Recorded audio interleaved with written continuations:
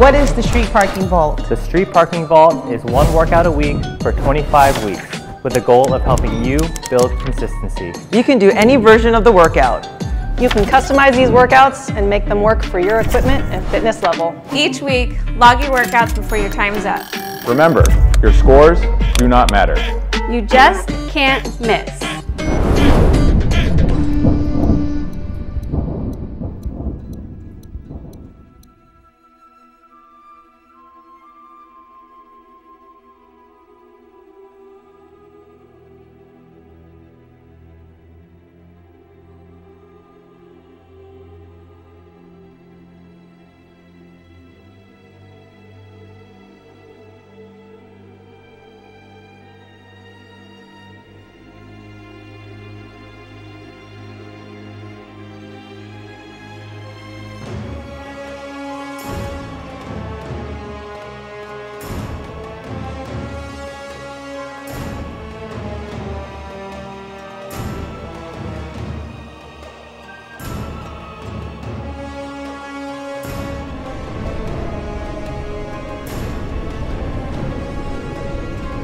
Right, guys, welcome to week 23 of the Street Parking Vault.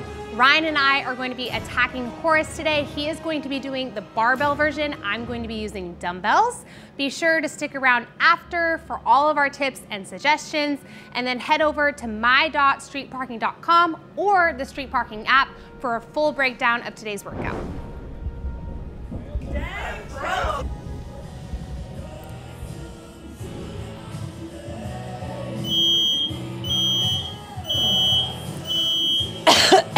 Here we go. Excuse me, sorry about that, Alex. I'm a little hoarse oh today. Oh my Just gosh. a little tickle in my Oh, throat for and so it begins. And so it begins.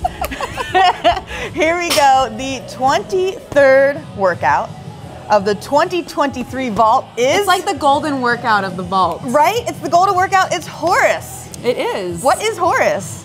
So what we're watching here is a 12 minute AMRAP, Mm-hmm. as many rounds and reps as possible in 12 minutes of six power cleans. Okay. Followed by six push jerks into four Atlas lunges. Ooh, the Atlas lunge. Ah, yes, the Atlas lunge. What is the Atlas lunge, Alex? I'll tell you, Nicole. Oh, I can't one wait. One rep of the Atlas lunge is one lunge on your right leg, Okay. one lunge on your left leg, followed by a back squat. Oh, fantastic. So I mean, one Atlas lunge. One Atlas lunge is a lot of fun. Uh, well, yes, Mm-hmm. so much fun involved in that singular Atlas lunge. I can hardly wait. I What? can hear it in your voice. I, I, I'm glad you can. I'm glad you can tell. So we have the same reps across the board if Yep. you're doing barbell, dumbbell, or sandbag. Correct. Excellent. I like it. So that's an easy conversion from one to the other. What about shift for this one? For shift for this workout, we're looking at two five minute AMRAPs. Okay. Each separated by a minute of rest. Okay. And basically, within those five minutes, you're gonna work through five hang power cleans, five shoulder press, and five unweighted lunges. Okay. Um, although I should mention, the intention behind the hang power clean and the press is for you to go straight from one into the other. So Okay. basically, you're looking at committing to 10 reps every time you pick up those dumbbells Oh, to start off the hang power clean. Right.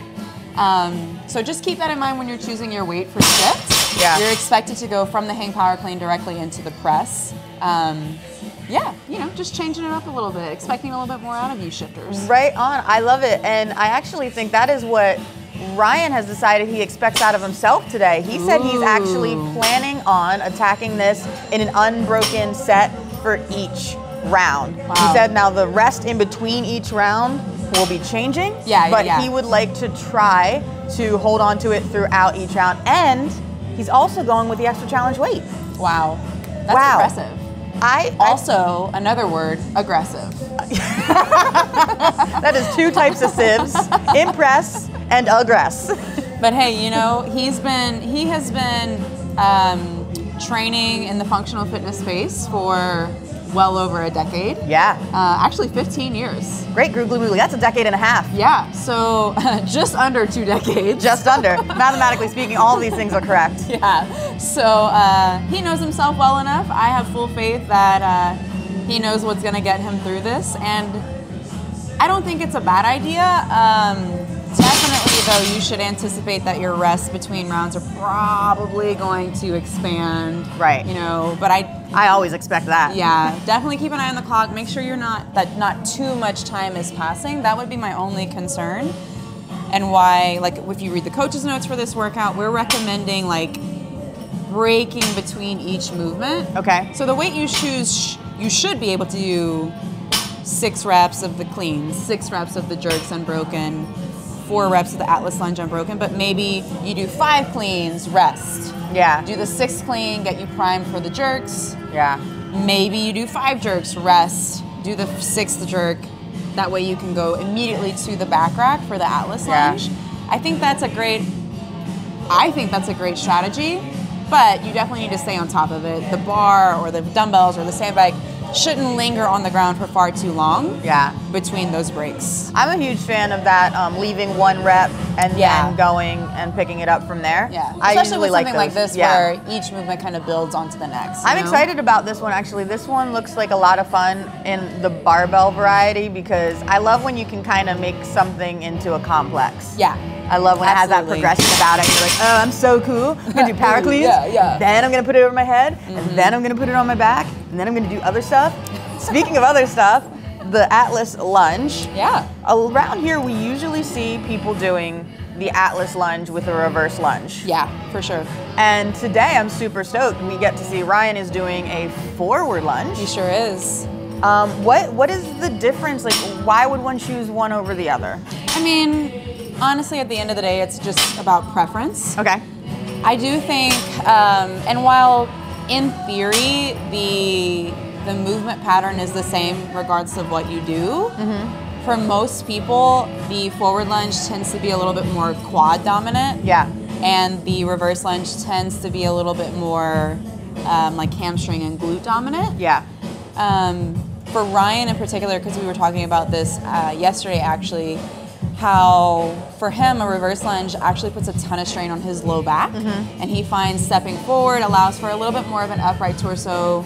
Um, I suspect, from a coach's perspective, Oh, I can't wait. um, that really it's just about him being able to brace a little bit more effectively stepping forward. Yeah. For some people, stepping back, there's like a, and they tilt their pelvic pelvis Right. forward a little bit, disengage through the abdomen, which can put a little bit of strain on low back. It makes perfect sense. So I'm really stoked actually that Ryan has been willing to kind of experiment, Yeah. figure out what works for him, and like not go with like with what everyone else does. Because you know, if you're just following street parking staff, so many of them do reverse, so it can be maybe tempting to just follow suit. yeah. Um, but yeah, whatever you like. Actually, you know, you could do reverse, you could do forward, and you could even do walking. Like if you have the space Yeah. for it, like that's that's perfectly fine. I don't think it applies to this workout so Yeah. much. You kind of want to stay in one spot, but I So mean, straight from the horse's mouth, you can do whichever Yes. version works best for you. Yeah, straight from the horse's mouth.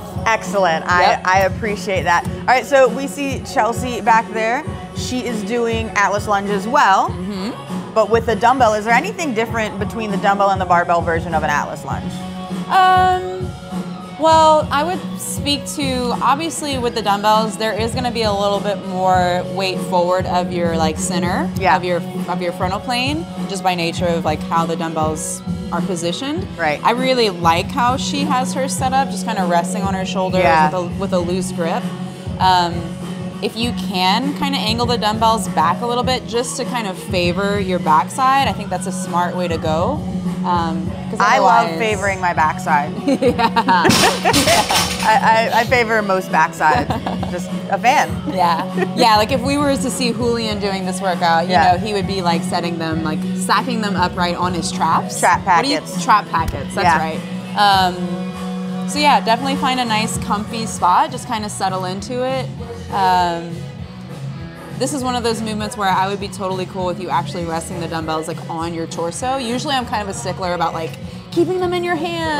Right. You know, like if this were a front rack lunge or a front rack squat, then Yeah. I probably would still encourage that. But because this is meant to be a back-loaded movement, like Yeah. I'm totally fine with you guys resting them on your body. Yeah, if you can find a comfy spot to put them, put them there and Yeah. keep going. Yeah, like Chelsea's Chelsea's kind of like I feel like found the sweet spot.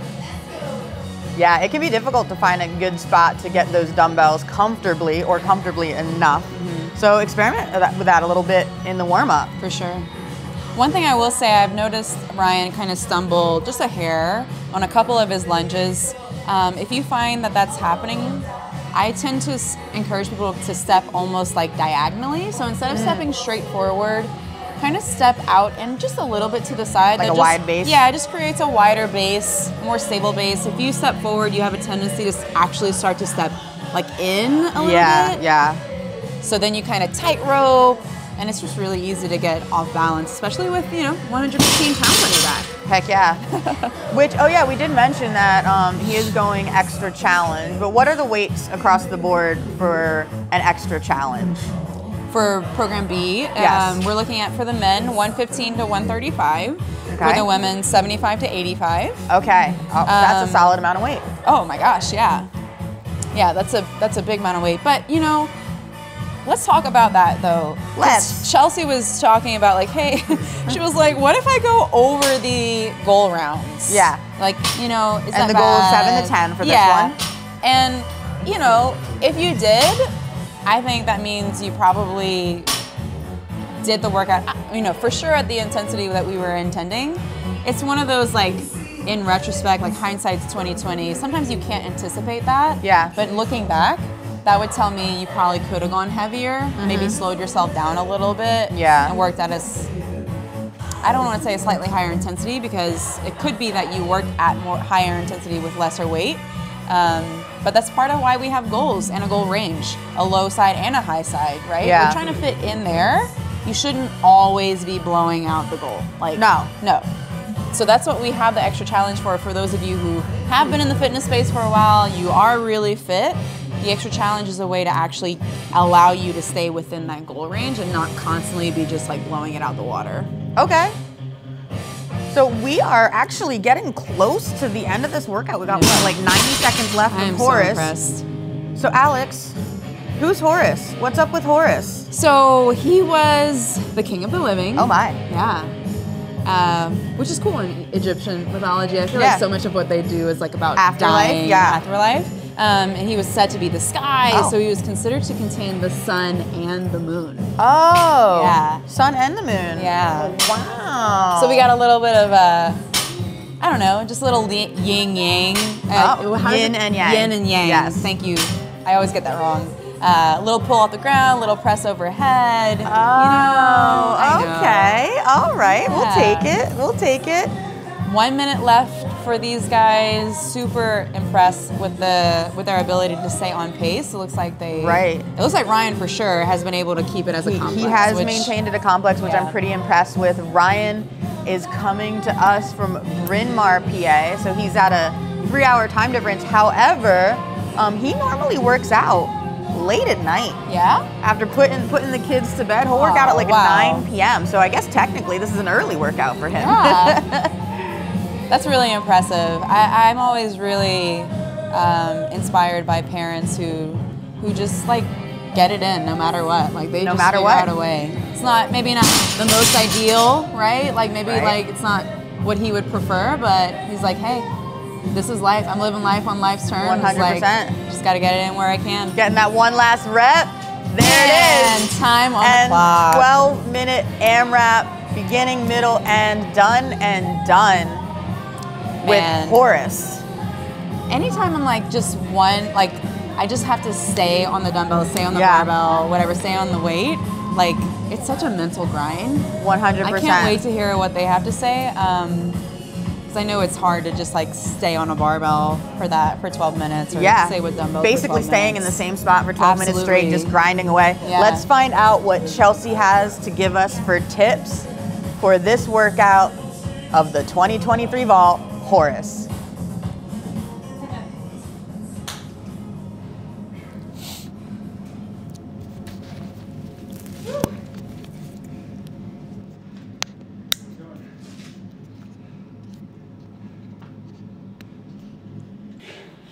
All right, tips, suggestions. Um, for me on the dumbbell, it felt really good to like break before the Atlas on, just because it's a lot of time on your shoulders, your upper back. Um, but I also felt my grip starting to fatigue. So if you feel that and it's starting to set on really hard in earlier rounds, maybe consider breaking, doing five power cleans, one power clean, and then into your push jerk. So just one extra break. But that's what I found really helpful. Ryan, do you have any? I mean, I thought my strategy of holding the barbell unbroken was a good one for my ability. I think that if I had to break somewhere, I would have broken after uh, on the second round on the five power cleans. So then you get a rest before the push jerks going right into the Atlas lunges. I, I wouldn't recommend putting it down between the push jerks and the Atlas lunges. Yeah, I think barbell and double are a little bit different in terms of like how you want to break it up. Um, another thing is like before going overhead, because the Atlas lunge is honestly the hardest part in the workout for me at least. Um, so as you're going overhead, just remembering to use your legs because it's going to be a little bit harder to do that when they're tired. Um, but that will make the push jerk so much easier for you and, and faster. And brace, brace yourself on the uh, on the Atlas lunge squats. yeah. My suggestion for those two is just kind of moving like one rep at a time, right? And so not necessarily having to move fast, but just staying steadily moving. The longer that you take on those, it's just going to be more time under tension. Um, so you want to be mindful of that, but also not pushing too hard. So kind of tricky, but yeah.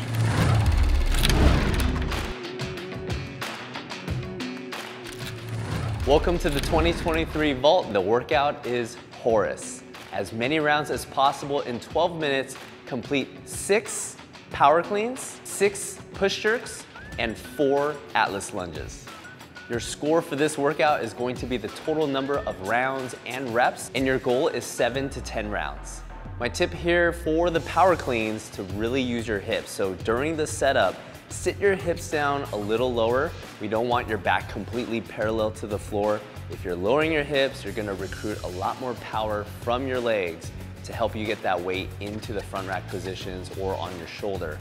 From there, go directly into your push jerks using your legs that subtle dip, but still powerful enough to get the weights moving upward and then finishing with a redip under your weight with a strong punch upwards with your arms for the lockout.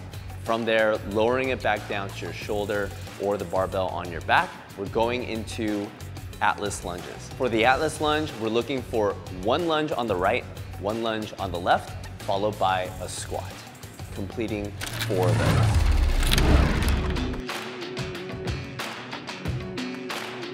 This one is two sets. Each set is a five minute AMRAP or as many rounds and reps as possible in five minutes of five hang power cleans directly into five shoulder presses. Finishing with five unweighted lungesters. Rest one minute between the two sets. The five hang power cleans and the five shoulder presses should be done together, unbroken, meaning after you complete the five hang power cleans, go right into five shoulder presses without setting the weight down. Your score for this workout is going to be the total number of rounds and reps completed between the two sets, and your goal is 8 to 12 plus rounds. Because we're emphasizing for you to go unbroken from the hang power cleans into the shoulder press, use a weight that's gonna allow you to do that unbroken without setting the weights down. During the unweighted lungesters, keep your torso upright so you can focus on your legs to do all the work for you and not overtaxing or over fatiguing your back. For more detailed demos of the movements in this workout and any customizations you might need, head on over to my.streetparking.com.